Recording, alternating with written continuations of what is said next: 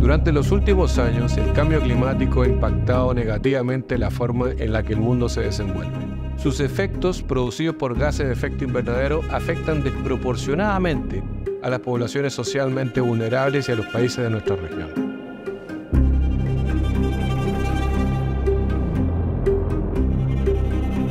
Hasta la fecha, ocho países de América Latina y el Caribe han publicado estrategias u hojas de ruta de hidrógeno, mientras que otros tres están en proceso de finalizar las suyas.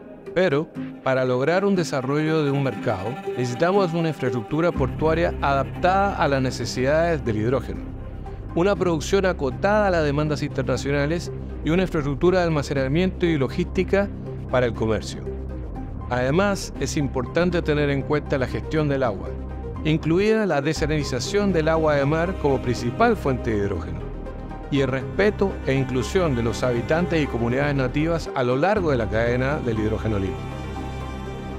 Aprovechando las ventajas competitivas de la región, como el hecho de que el 60% de la energía ya es renovable y que podemos obtener precios entre 1.5 y 2.5 dólares el kilogramo de hidrógeno producido, podemos convertir a América Latina y el Caribe en una región líder en producción y exportación de hidrógeno y sus derivados.